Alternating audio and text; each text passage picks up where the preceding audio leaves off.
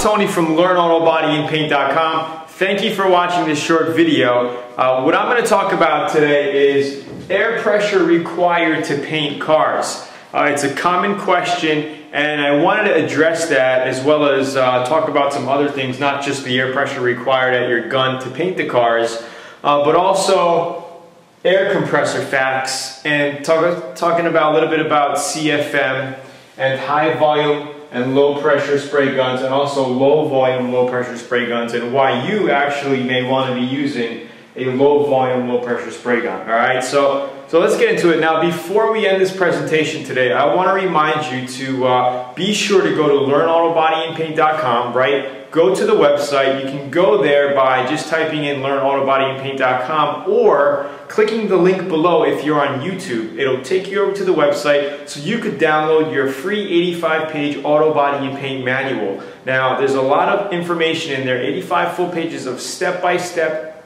information on how to paint a car or start your project. Uh, we talk about everything about automotive painting and uh, so it'll clear things up for you, make things easier, all right? So uh, let's get started. So air pressure required to paint cars, okay? Um, let's just talk about high volume, low pressure really quickly.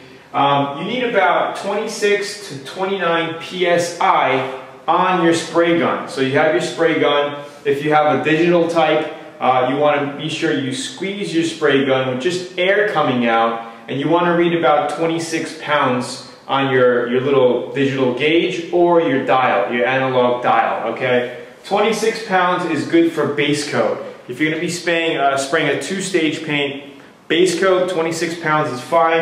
And I usually like to up it up about two, three pounds when spraying clear coat. All right, so after you clean your gun all up and you're ready to do your clear, uh, go ahead and notch it up till about 29 pounds. Uh, I do 28, but for an extra boost, more atomization, you can go up to 29 pounds. Uh, above that, you really don't have to go, okay? Uh, so that's with high volume, low pressure. And most high volume, low pressure guns use about 10 to 14 CFM. Low volume, low pressure, what we have here, gravity guns, okay, the same gravity guns, not the siphon where the cup is on the bottom, the gravity gun, uh, uses about, you know, low pressure, uses about 5 to 7 CFM uh, at 40 pounds per square inch, which is really low. And if you're doing like DIY stuff and you have a small compressor in your garage, 20 gallon, 30 gallon tank with a 1 to 2 horsepower, something small, uh, I really suggest getting a low volume, low pressure spray gun because uh, you're going to be able to spray more. Uh, your tank's going to be able to keep up. Uh, you're not going to run out of your high volume pressure like if you're using a high volume, low pressure with a small tank. You're going to run out of air in your garage and you're going to have to adjust your gun uh, to bring the volume back up again uh, until your tank catches up to fill up your little small air tank again. I hope you understand. And that usually sprays at 10 to 15 psi. All right, so you only need about 10 to 15 psi, uh, and it's going to be using up 5 to 7 CFM at 40 pounds per square inch. So this is a great, great gun here uh, for DIY guys with small tanks. And you know what?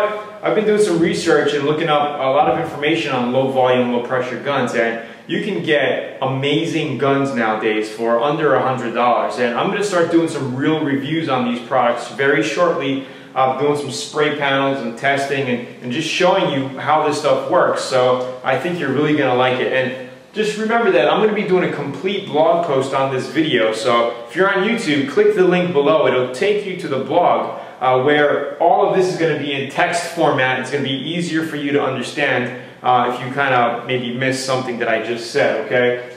Now let's just talk about, so those are the paint pressures, okay? Paint pressures.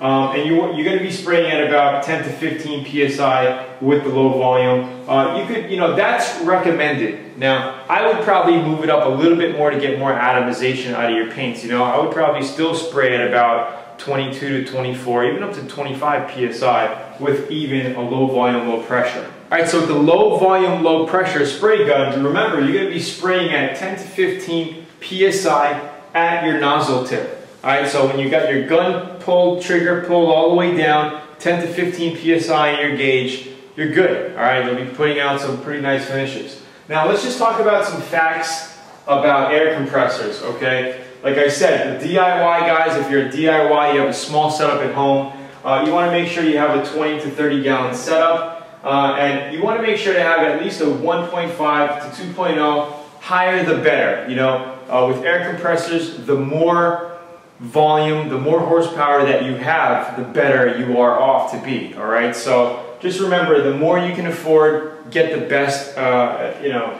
the best that you can.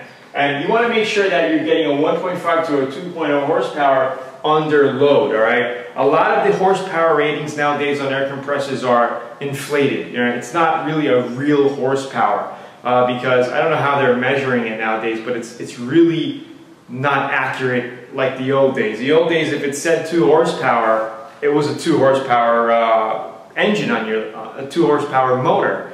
Uh, nowadays it says two it's a 2 horsepower motor, but they says it's a 5 horsepower. But the thing you have to make sure is the real horsepower and under load, okay? Running horsepower is what you really want to check. Alright, 1.5 to 2.0 for a DIY at home uh, with a low volume, low pressure spray gun. You can basically paint the complete car with that if you want to. Alright, if you want to get up to the pro levels, right, start using some high volume, low pressure spray guns. Um, you're going to have to move up to at least a 50 gallon, uh, 60 gallon tanks are common, and uh, 80 gallon tanks are common for home pro use. Alright, so you want to be sure to do that, and uh, at least a 5 horsepower under load, okay? 5 horsepower um, with a 60 or 80 gallon. The most common is an 80 gallon with a 5 horsepower on it. It's going to be plenty, plenty power for you to uh, completely use a high volume, low pressure spray gun, uh, you know, giving you 10 to 14 CFM at 90, uh, 90 PSI. now, let's just go back over here for, for a second.